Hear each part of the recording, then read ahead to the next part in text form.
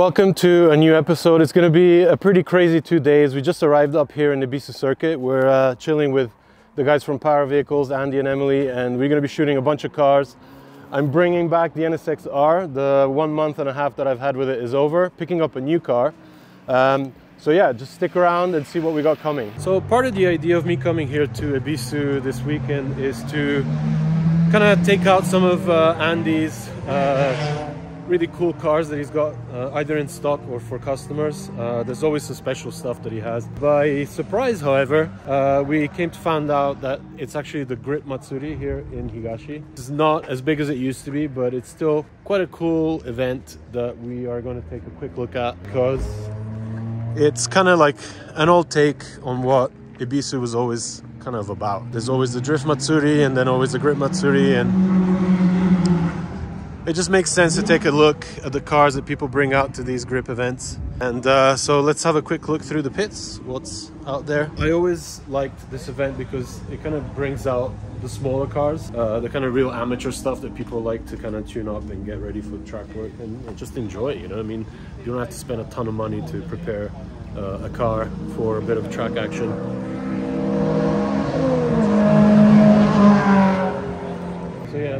Of uh, Hondas, some K cars. Start down at the bottom here and see what we can find.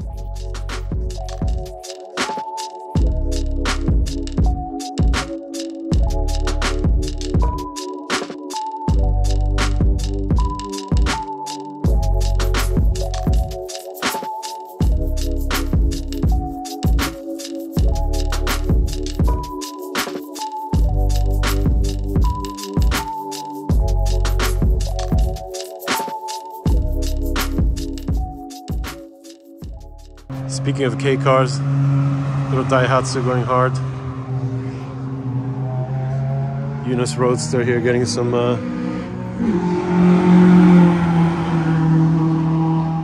getting some brake maintenance done. Looks like the pads need a bit of change. Next to the Roadster is the Friend Racing wide body Impreza. Bit of a surprise seeing something this high spec at Grip Matsuri. Usually it's kind of smaller, kind of more affordable cars, but this is obviously a bit of a test for this car possibly. So it's pretty sick aero kit with like a spoiler literally sprouting up from underneath here, mounted to a bar welded to the chassis. It's actually very functional. Pretty girthy wide body that kind of continues onto the rear doors and the front end. Carbon splitter and an intake right there on the corner vent.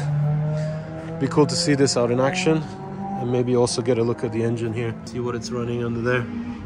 Another Subaru Impreza STI, this time very stock looking. And next to it here, this Ari Racing Suzuki Alto Works. I love these cars and I always love seeing them at events like Super Battle and uh, Attack in Tsukuba. So coming across one here at Ebisu East, always cool. Looks like um, they pulled some seats. It's completely stripped out. Now that will be fun around the Higashi. Don't need to hit brakes much with uh, cars that lightweight. And here's the Mitsubishi. Oh God, what is this? I'm not even sure. But yeah, I mean, the recipe is pretty much the same get a bolt-in roll cage, completely stripped out rear, bucket seats, steering wheel, decent suspension, wheels, grippy tires, and you have yourself the perfect kind of weekend time attack car. Further up here, I spotted the DC5 on TE37s. Looks like it's a well-used example. Carbon bonnet, sort of peeling. Looks like it's been sitting in the sun for ages. Very cool. The unmissable Suzuki Swift. Any grip event in Japan, you'll always find some of these. These are really fun cars. Uh, you can buy them with a manual transmission. The Swift Sport is the one you need to get. And uh, cheap and easy way to get into some uh, fun grip racing at tracks like Ebisu. There's a couple more roadsters here and uh, over there. We'll go and check out that side of things in a bit. And uh, not sure what this V60 Volvo is all about. got some serious brakes. So it's the VolvoVST.com. This is the hot version of Volvo's VST V60 Polestar. I don't think I've seen many of these Polestar Volvos here in Japan. Always cool to see a bit of variety. This Volvo Polestar V60 is definitely something you don't come across often.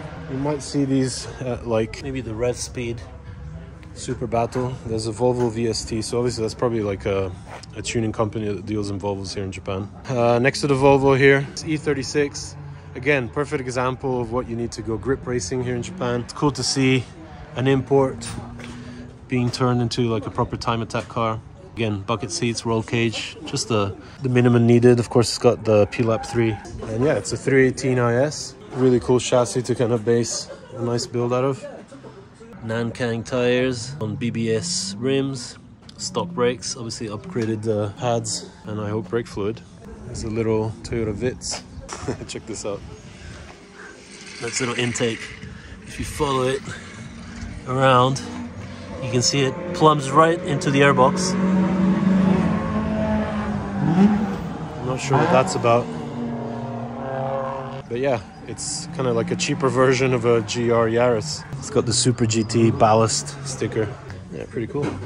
And another one next to it. This is the RS on work rims. It's actually on, it's so quiet. Looks like it's ready to go out. And next to it here, we have another, a third Subaru Impreza. But uh, I wanted to check out what's out here in the paddock area.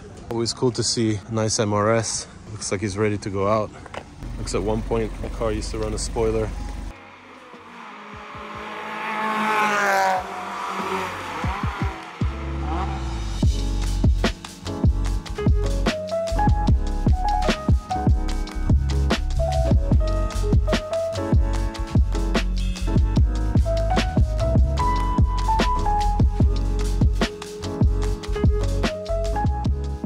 Little trio of Eunos Roadsters here.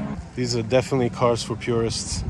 I love how they always never exaggerate on tire sizes and wheel sizes, so they always keep the chunky 45, 55 profile sidewall. So it's running AD 09 Miovas on NK rims.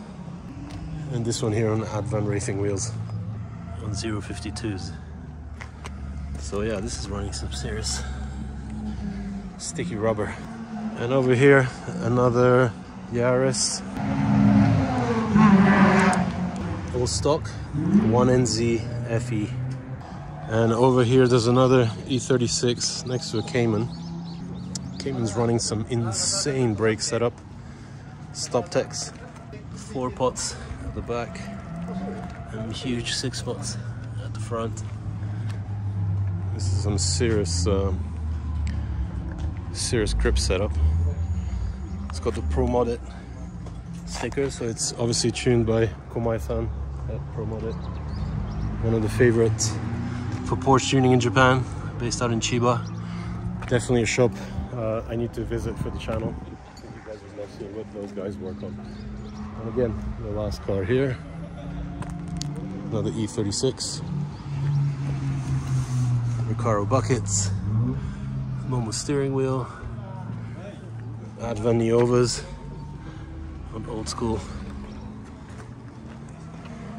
E36 BBSs. Oh, this is pretty cool. I saw this out on track before. CRX Del Sol. Always nice to see rare Hondas. I used to remember that these cars actually came out when I originally moved to Japan in uh, early mid 90s. Uh, and I used to love, there was like a kind of like a teal green uh, color offer for these cars. They're always so cool. I always love them. There's the Hachiroku, another Swift Sport, and the little NA we were seeing on track. Oh, I didn't even see this Fit RS. Loving there's a TE37s at the front.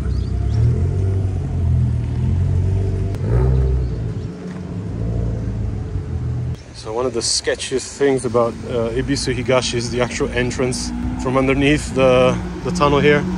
Kind of cross onto the main straight from the other side of the track and it's so narrow. It's so narrow. So if you have, some people actually try with transporters, but you kind of have to wait until they open the gate all the way over there to get in. CRZ. So the little Daihatsu Passo, I think it's called, that we were seeing out on track has just pulled in. Check out the cutouts on the rear bumper hearts. upturned number plate, unmounted bike type silencer, and lady driven. Kakui. Such a cool little car. It just proves that you don't need to go crazy on you know grip driving. You can have so much fun with little K cars. And this is definitely my favorite. I love the Alto Works. So this is always a really cool viewpoint at Ebisu. You kind of see the inside, uh, the infield hairpin. So basically, you come down all the way from there, make your way through the corner section, and you loop around and come back here. One of the best places to look out. Potentially shoot if you have a long enough lens. So when I shoot from Ebisu Higashi, I tend to go on the outside of this corner. Uh, if we have access, we can usually actually um, get right up to where those uh, sponge barriers are, or you kind of walk along the wall and you get the cars coming up. From that little control point, you can actually get the cars kind of zooming past you really good place for like high-speed fans. So the cool thing about this event is that, you know, we've noticed how most people don't really exaggerate when it comes to like, uh, you know, big power or crazy builds, unless you're like friends racing, testing like one of the demo cars. And uh, it's, it's a really good opportunity for you to go out on track and just set up a nice kind of like setup for your car and just practice lines. You know, you just gotta learn how to not only understand the track and all the lines through the corners, but make full use of what you have at your disposal with grip and power and try to perfect that time as you kind of bring as much speed into a corner and kind of use all the space as you exit out, uh, hitting every possible apex and maximizing lap times.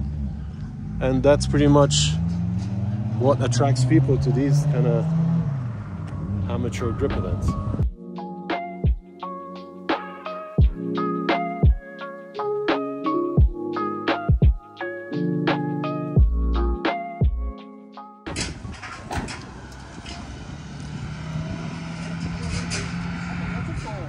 Running Hankook tires.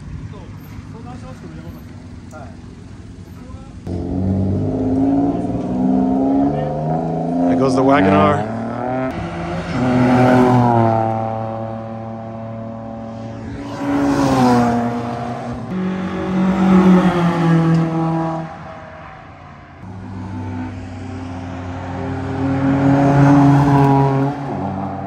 School course cars that they have here.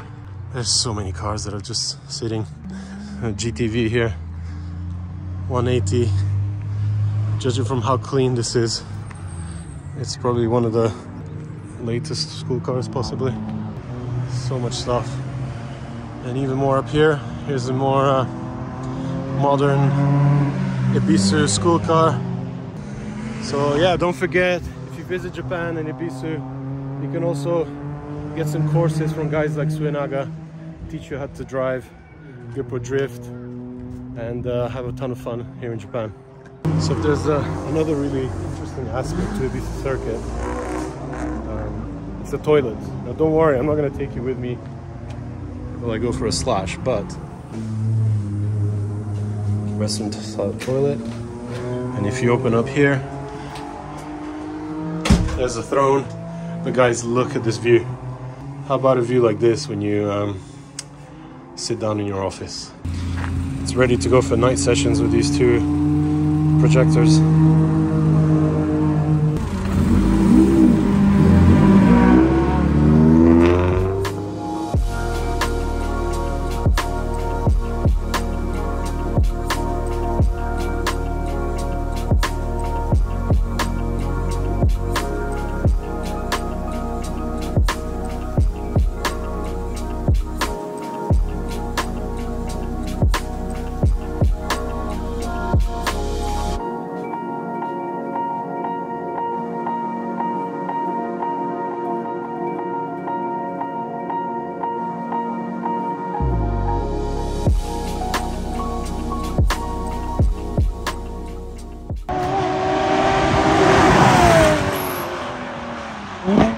Okay, so the Grip Matsuri is actually held over two different courses.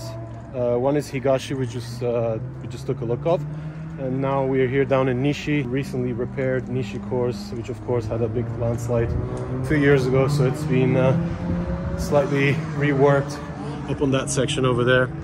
And uh, again, the selection of cars is as diverse as it was at uh, Higashi, so we'll definitely have to take a look through the pits, see what we come across. I just spotted this uh, CRZ here. You don't really see these cars being too heavily modified, but this is uh, probably like a Fuels demo car or a Fuels um, customer car that's being built to pretty high spec. It's got a compressor from HKS. So basically it's it's got the Honda type of hybrid motor assist plus the compressor. Really cool looking project. NK wheels. It's got a bit of a wide body thing happening here at the back with some uh, fender flares riveted in there. Nice wing. Yeah, it's pretty cool to see a CRZ, you know, done up as it should. Is the MRS we were looking at uh, in Higashi. Another Ari Racing. Another Ari Racing Subaru K car. Evolution. Another CRZ. Nice Evo wagon. A Mark X GRMN. These are actually really potent cars. I remember driving one of these at a press event years back. It's got some serious GR calipers, race forced TE37s. Pretty cool.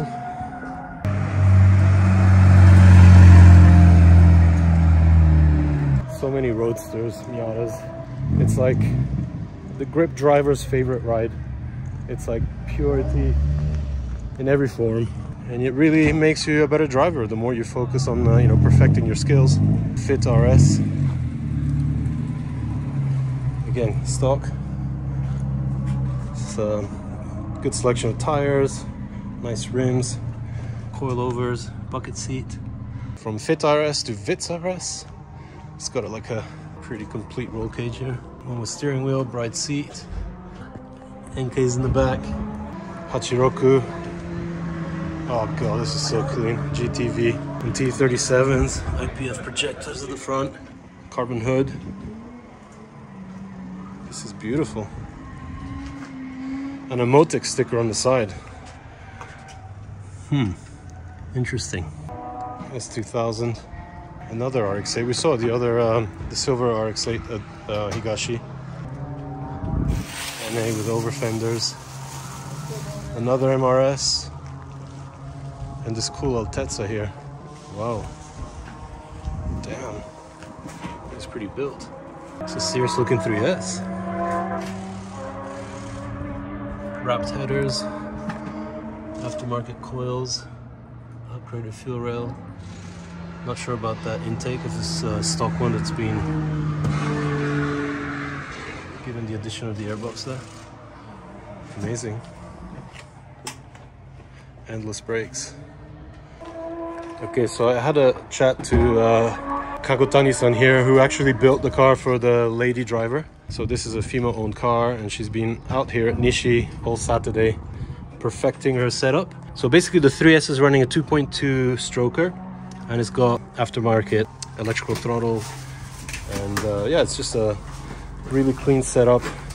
Big brakes, endless brakes at the front, Advan wheels, and tires as well and they're actually they're actually packing up today because the days uh, the session today has come to, to, an end. Most of these cars are actually back tomorrow. It's a it's a two-day event.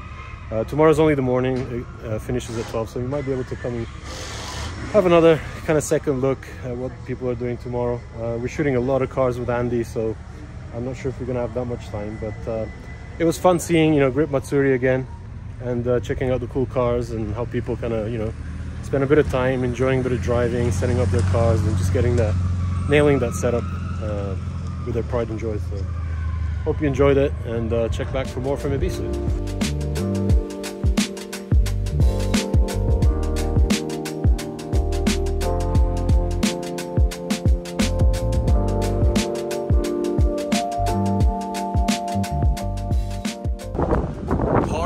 la madonna, start filming the fucking cane.